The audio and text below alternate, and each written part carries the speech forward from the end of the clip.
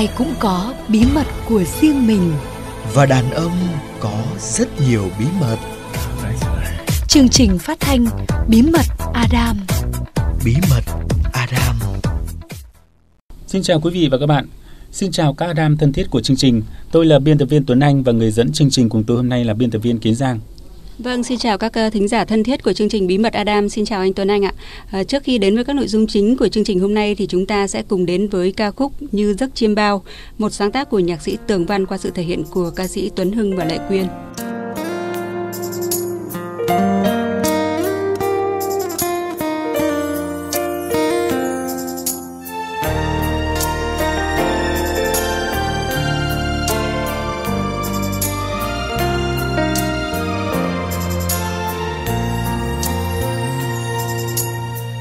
Rời xa mãi mãi. Khi tình ta yên vui hạnh phúc vụt mất trong thoáng giây. Ta giờ đây chia ly mai mình đi hai hướng với anh. Trao dâng lên niềm đau. Anh là tia nắng ấm anh là muôn khúc hát sưởi ấm, trái tim bất xa lạnh.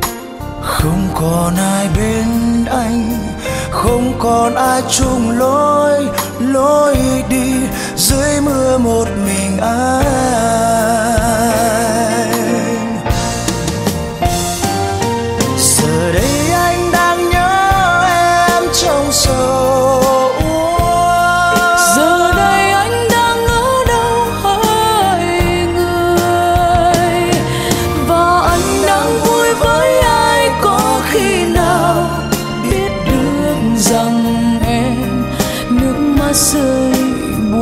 the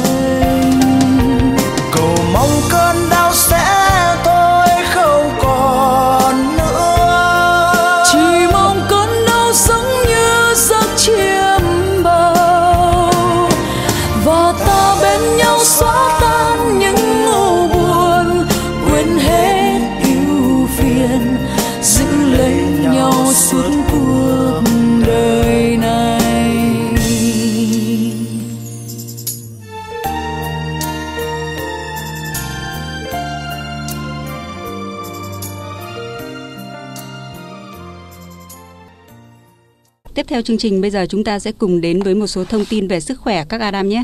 Là nam giới thì ai cũng muốn cuộc yêu của mình trở nên bất tận bởi nó thể hiện được ờ, sức mạnh cũng như bản lĩnh của họ trước mắt người bạn đời. À, thế nhưng mà cũng không phải lúc nào nó cũng mãnh liệt và mãn nguyện như ý, nhất là khi có tuổi. À, cuộc yêu của các quý ông thì thường diễn ra chóng vánh, đôi lúc thì còn xuất hiện những cái bước lỗi nhịp khiến cho cả hai đều không thể đạt tới tận cùng của cảm xúc.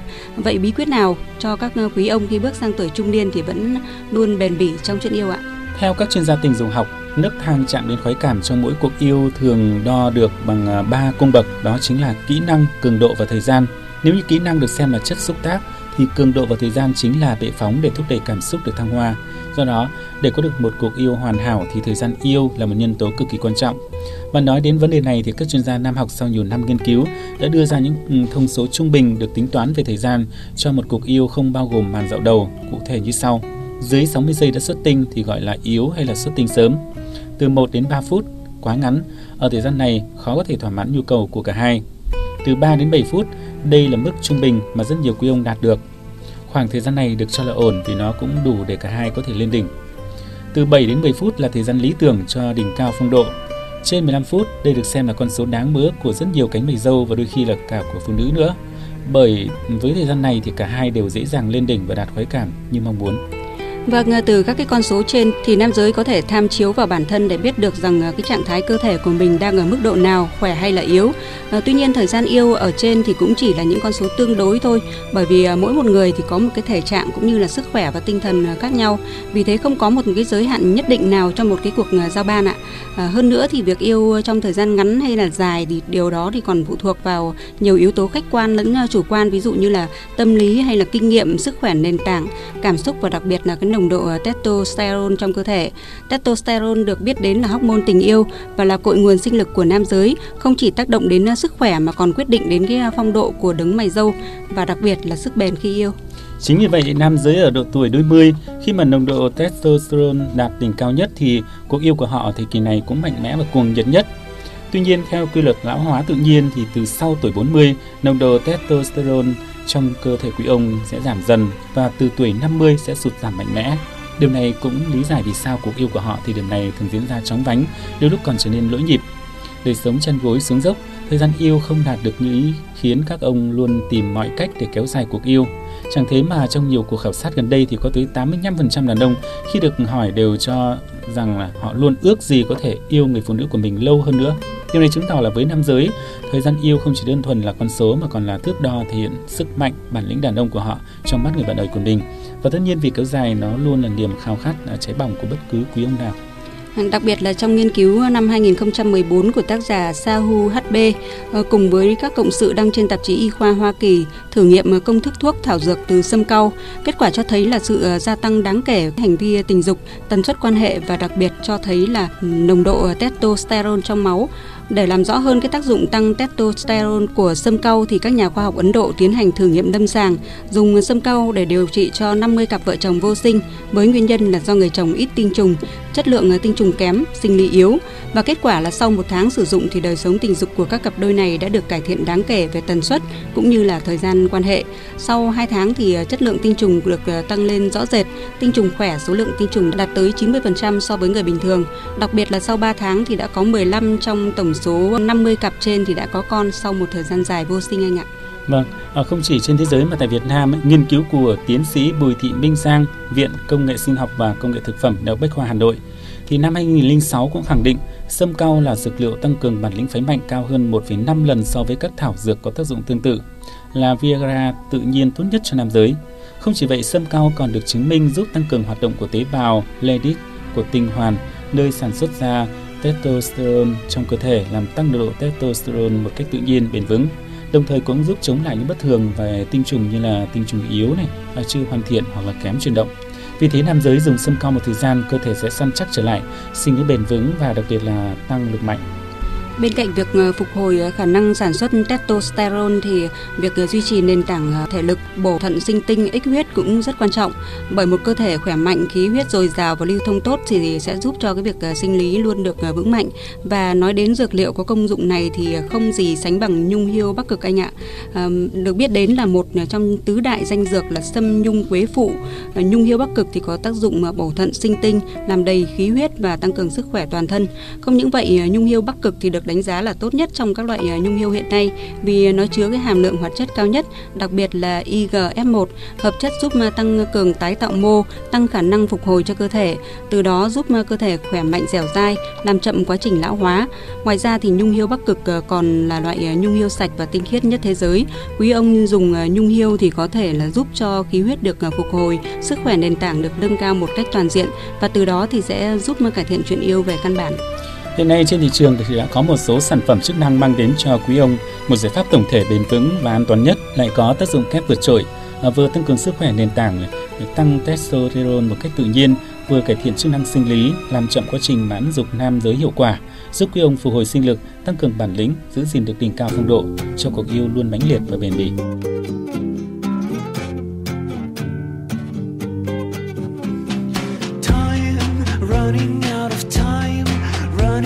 of tyrant's claw.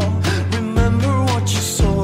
Lonely as a mountain, weeping as a fountain, ready and I want them.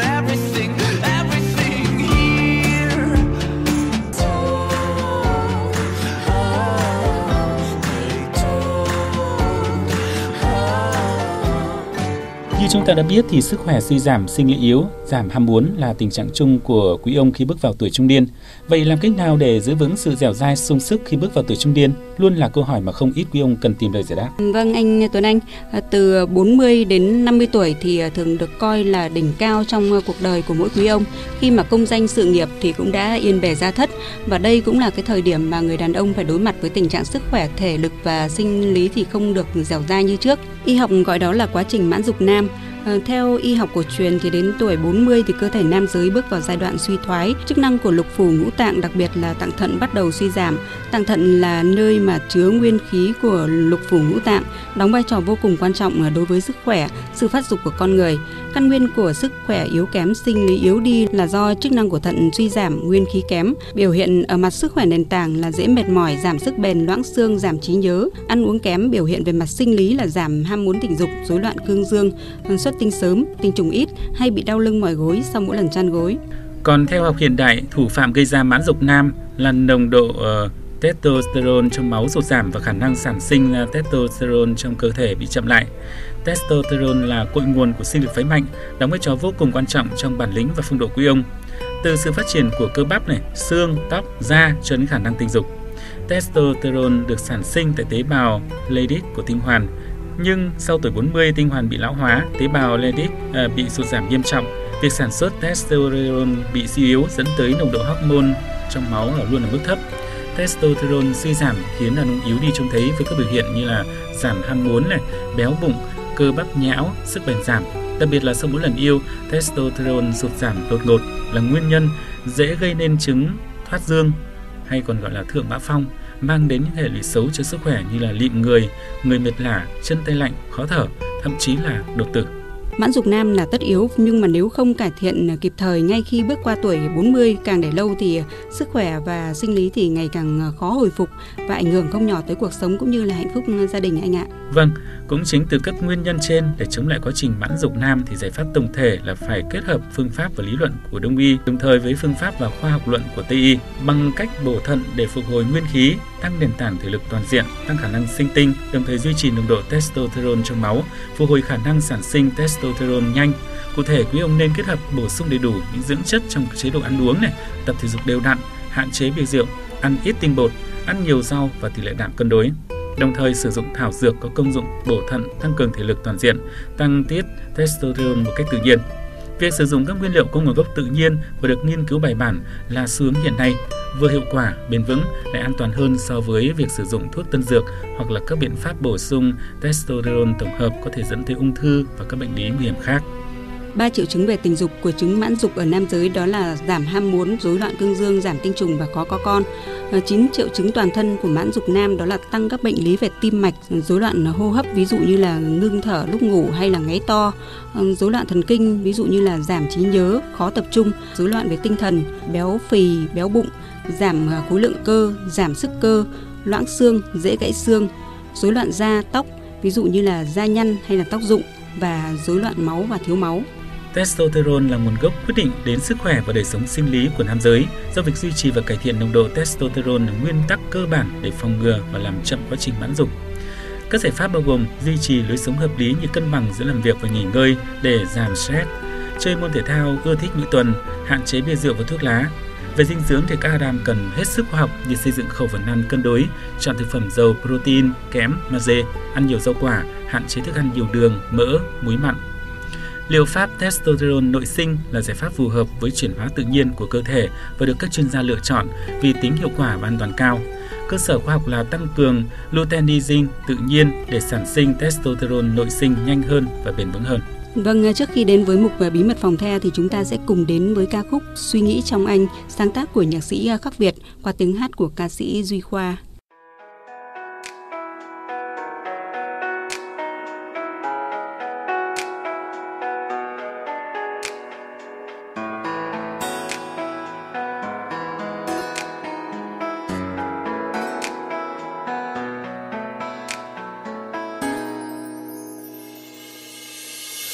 Qua thêm một ngày mới biết thế nào là yêu. Một ngày trôi qua vội vã nhưng trong anh rất nhiều điều. Những suy nghĩ trong anh cứ lớn lên từng phút, cứ lớn theo từng ngày khi anh được ấm áp bên em. Những suy nghĩ trong anh giờ đang chia làm hai. Một nửa trong anh từng nghĩ chúng ta sẽ bên nhau trọn đời. Nhưng nếu lỡ một ngày em nói lời chia tay, anh sẽ thế nào đây? Anh sống thế nào đây? Hãy để cho anh được yêu yêu em trong từng suy nghĩ. Dù là tương thương thôi, nhưng anh cũng thấy vui rồi. Đừng nói chi em ơi, tình yêu không cần nói. Chỉ cần cảm nhận thôi, anh nghĩ cũng đủ rồi nhiều khi anh từng mơ, ngồi một mình cười ngẩn ngơ. Chúng ta sẽ được sống trong ngôi nhà đầy trẻ thơ. Có khó không em ơi? Nếu giấc mơ này xa xôi, thì anh xin được giữ giấc mơ đó ở trong suy nghĩ anh mà thôi.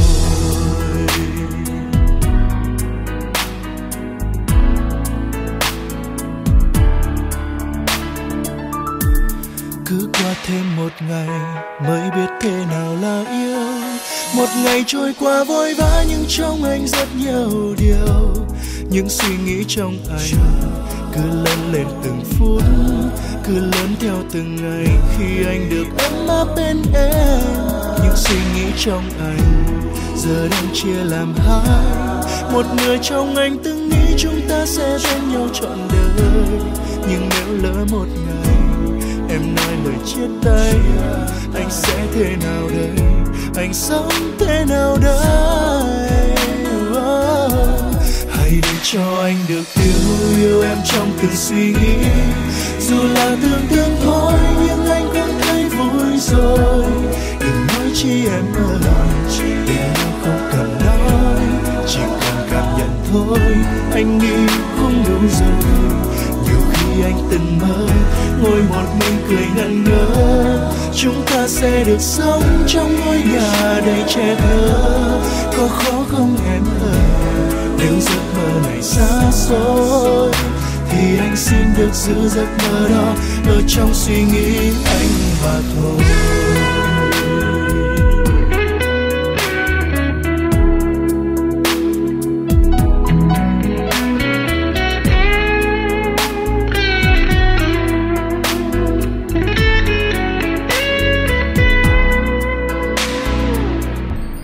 Hãy để cho anh được yêu yêu em trong từng suy nghĩ. Dù là tương tương thôi nhưng anh cũng thấy vui rồi. Đừng nói chi em ơi tình yêu không cần nói. Chỉ cần cảm nhận thôi anh nghĩ cũng đủ rồi. Nhiều khi anh từng mơ ngồi một mình cười ngẩn ngơ. Chúng ta sẽ được sống trong ngôi nhà đầy trẻ thơ có khó xa thì anh xin được giữ giấc mơ đó ở trong suy nghĩ anh mà thôi oh, oh, oh, ở trong suy nghĩ anh mà thôi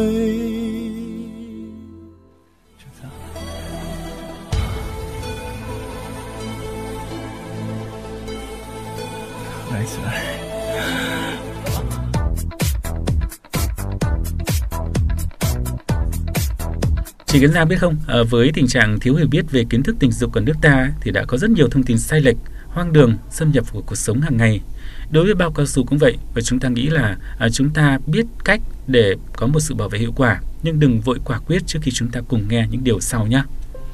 Sai lầm thứ nhất, bạn phải đủ 18 tuổi mới có thể mua bao cao su. Thực tế thì dù bạn còn nhỏ tuổi hay đã đủ trưởng thành thì đều có thể mua bao cao su. Chỉ đơn giản là ra hiệu thuốc và mua loại mà bạn muốn. Nếu ngại thì bạn có thể đặt mua bao cao su trên mạng. Người bán sẵn sàng giao bao cao su tới tận cửa nhà bạn. Sai lầm thứ hai, đó là không cần bao cao su nếu như bạn quan hệ bằng miệng hoặc qua hậu môn, bởi bao cao su không chỉ nhằm ngăn ngừa mang thai mà chúng còn bảo vệ bạn khỏi các bệnh lây truyền qua đường tình dục. Vì vậy nếu bạn không chắc chắn về bạn hoặc đối tác của bạn có mang bệnh truyền nhiễm hay không thì tốt hơn hết là hãy cẩn trọng ngay từ bây giờ thay vì hối tiếc về sau. Sai lầm thứ ba, bao cao su không hết hạn. Vâng, ở nhà sản xuất bao cao su đã hoàn thiện bao bì đủ để đọc hiểu và bạn sẽ thấy ngày hết hạn của chúng được in bên ngoài. Một số người nói rằng sử dụng bao cao su hết hạn vẫn tốt hơn là không sử dụng bao cao su, nhưng bạn phải thận trọng vì điều này có thể gây phát ban và bị kích ứng. Bao cao su có thể bị rách một cách dễ dàng do bị mất đi độ dẻo dai khi quá hạn dụng. Sai lầm ờ, tiếp theo đó là dùng bao cao su không thoải mái và sẽ khiến cho bạn giảm hưng phấn. À, tuy nhiên các Adam yên tâm bởi các nghiên cứu đã chỉ ra rằng điều này là không đúng. Các cặp vợ chồng vẫn cảm thấy khá là thoải mái với bao cao su à, như là cái cảm giác mà khi họ không sử dụng nó. Mặc dù có một số bao cao su thì được ờ, thiết kế để làm ờ, chậm cái ờ, quá trình cực khoái, điều này cũng không có nghĩa là chúng sẽ khiến cho bạn ít hưng phấn hơn và có nhiều loại bao cao su thì siêu mỏng cho cảm giác y như thật. Sai lầm thứ năm, không cần dùng bao cao su nếu bạn gái đang sử dụng thuốc tránh thai. Có nhiều loại thuốc không ngăn ngừa được truyền nhiễm và thuốc thì cũng không đảm bảo 100% là bạn sẽ an toàn. Vì vậy thì hãy dùng bao cao su nếu bạn thực sự là không muốn có thai. Sai lầm thứ sáu, hai bao cao su thì sẽ an toàn hơn một bao cao su ạ. Chỉ cần sử dụng một bao cao su là cách tốt nhất để giảm nguy cơ mang thai ngoài ý muốn và các bệnh lây truyền qua đường tình dục. Ở trên thực tế, việc sử dụng hai bao cao su một lúc thì sẽ gây ra cái sự ma sát giữa chúng và có thể khiến cho bao cao su bị rách. Một sai lầm khác nữa đó là nếu bạn ngủ với người ý thức tốt thì bạn không cần dùng bao cao su. Các đam thân mến, bệnh lây truyền qua đường tình dục không chỉ xảy ra với những người có ý thức kém hay là hư hỏng Xin vui lòng biết rằng việc truyền nhiễm có thể xảy ra cho bất cứ ai, đôi khi thậm chí không có các triệu chứng rõ ràng. Sai lầm nữa là bất kỳ loại gen bôi trơn nào đều có thể sử dụng cùng với bao cao su. Hầu hết các bao cao su đều đã được bôi trơn. Trong trường hợp bạn cần thêm chất bôi trơn, hãy sử dụng nước hoặc các chất bôi trơn silicon thay vì dầu bôi trơn. Dầu có thể ăn mòn bao cao su và dẫn đến rách bao cao su. Sai lầm thứ 9, bao cao su có thể được dùng vào giữa cuộc vui hoặc ngay khi trước khi xuất tinh. Điều này không chỉ gây khó chịu mà còn tăng nguy cơ mắc các bệnh lây truyền qua đường tình dục. Trên lý thuyết thì chỉ một tinh trùng cũng có thể làm bạn gái có thai. Trước khi bạn xuất tinh thì tinh trùng cũng đã đi ra ngoài qua dịch tiết để biết được chú bé tí hon này sẽ lạc vào đâu phải không ạ? Sai lầm thứ 10 đó là nếu bạn thực hiện hai lần quan hệ tình dục liên tiếp thì bạn chỉ cần đeo bao cao su trong lần đầu tiên. Thế nhưng thực tế thì à, trong mỗi một lần xuất tinh thì à, tinh trùng được giải phóng, à, rủi ro tăng lên lần thứ hai bởi vì à, trong khi quan hệ tình dục thì luôn có những cái vết xước gây ra khi cọ sát. Như vậy nếu như bạn quan hệ lần thứ hai mà không đeo bao cao su thì điều này làm tăng cái nguy cơ mắc các bệnh lây truyền qua đường tình dục. Và sai lầm thứ 11 tức là bảo quản bao cao su ở bất kỳ đâu mà bạn thích. Tuy nhiên thì các chuyên gia khuyến cáo rằng bạn không nên giữ chúng ở nhiệt độ quá thấp hoặc là quá cao. Nếu bạn giữ chúng ở một nơi có ma sát, ví dụ như là túi quần của bạn chẳng hạn, thì ờ, có thể sẽ gây ra nguy hại và đó là một cái ý tưởng khá là tồi. À, việc này thì có thể tạo ra những cái lỗ vô cùng nhỏ nhưng mà đủ lớn để cho tinh trùng vượt qua đấy ạ. Sai lầm 12. Dị ứng với cao su tự nhiên ngăn cản sử dụng bao cao su. Bệnh dị ứng với cao su tự nhiên không ngăn bạn quan hệ tình dục hoặc buộc bạn phải quan hệ tình dục không được bảo vệ. Có một số bao cao su không phải là cao su tự nhiên và có thể sử dụng được. Và sai lầm cuối cùng mà các Adam hay mắc lỗi, đó là chỉ những cặp vợ chồng khác giới thì mới cần tới bao cao su ạ. Thế nhưng hãy nhớ rằng, bao cao su thì không chỉ có ý nghĩa để ngăn ngừa mang thai, mà chúng còn có ý nghĩa bảo vệ bạn, chống lại các bệnh lây qua đường tình dục. Vì vậy, nếu chưa muốn có con và không muốn mắc các chứng bệnh tình dục vì một đời sống tình dục an toàn, viên mãn, thì tất cả hãy sử dụng bao cao su một cách hợp lý nhé.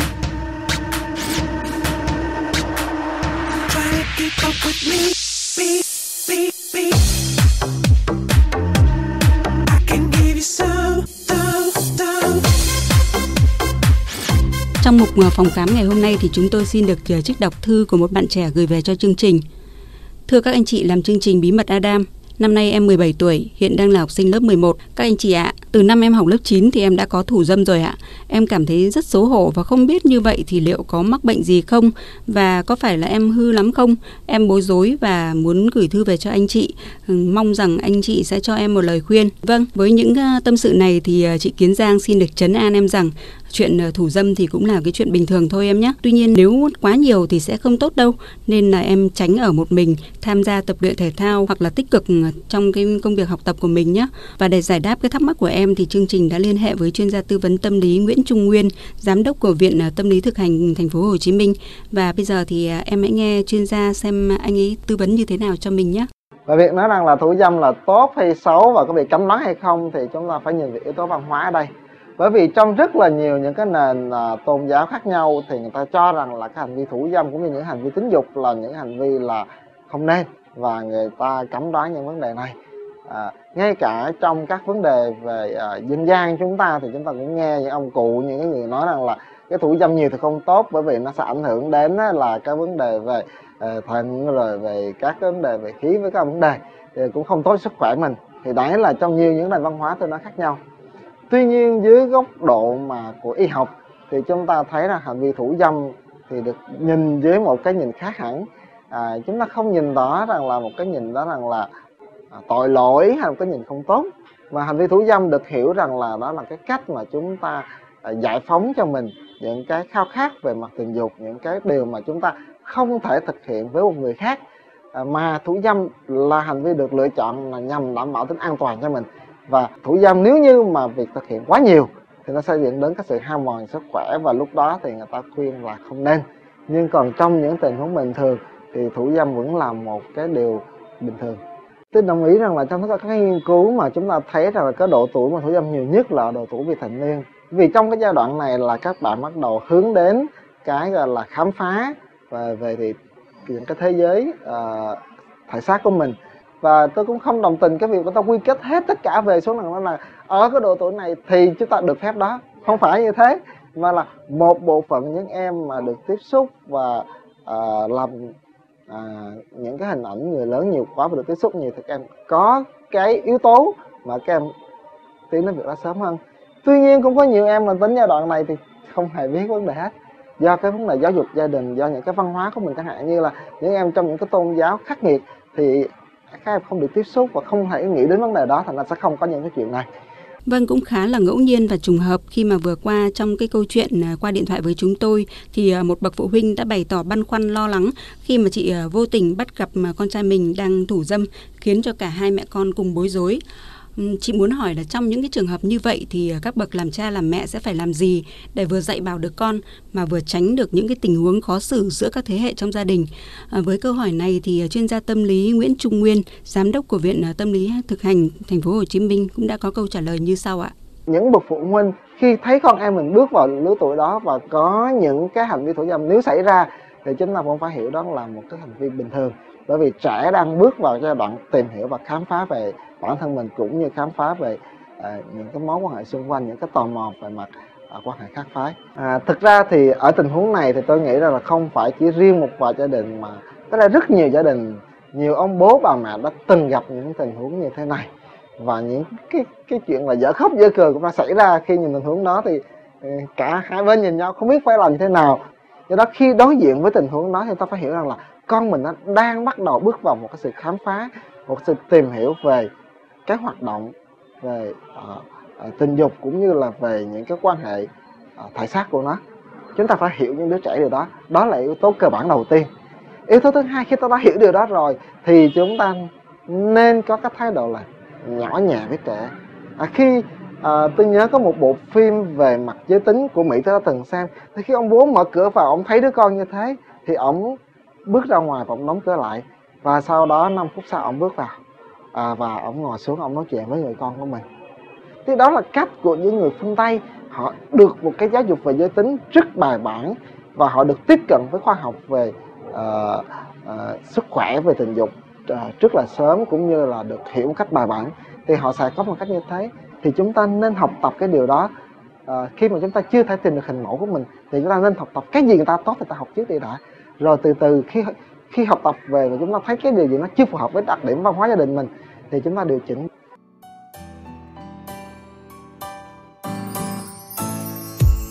Em ơi, hình như chúng mình đã hết yêu nhau mất rồi. Tại vì sao em hay nói đi, hay vì anh vô tâm hứng hờ, nên vô tình đành ngỡ thai ta. Rất khó để đến với tình yêu chúng mình.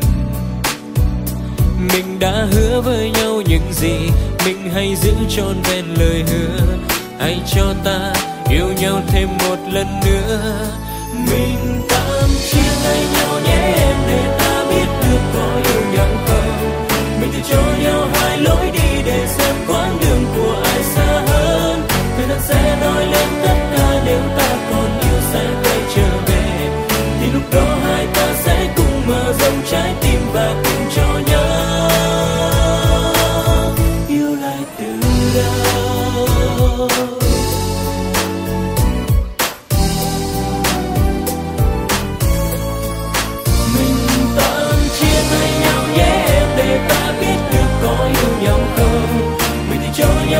lối đi để xem